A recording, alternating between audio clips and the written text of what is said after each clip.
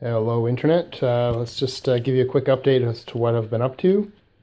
I'm going to be talking today about a walnut cracking machine. Now these are not your regular walnuts that you can buy in the store, these are black walnuts. Uh, I've processed these already and dried them, now going to the cracking process.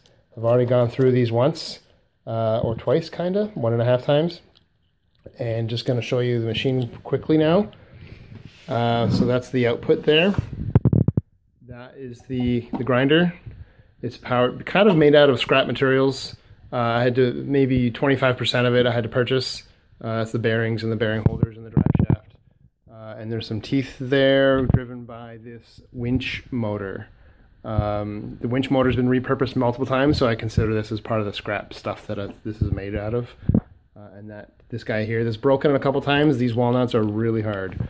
And normally this could just run from a 12 volt battery and a solar panel, but um, for this development that I've been doing here in my workshop, uh, it's running off of a power supply. So I'm going to run this quickly to show you what's going on.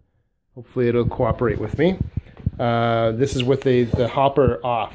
The, the hopper is made up with a couple of different baffles because often uh, this stuff will pop back out again and the hopper just slides in place and is held by friction. So won't be able to talk. Uh, this is very loud because of the gearing in here. And uh, hopefully uh, you can turn down uh, the sound on your computer or I'll miss, try to cut the audio somehow. I'm just doing this on my cell phone, so let's see how this goes.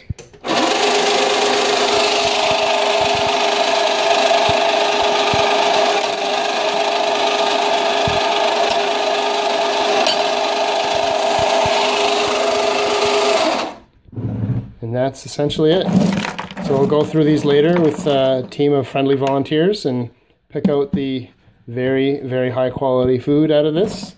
And uh, yeah, that's, that's how I'm doing it. Thanks for watching.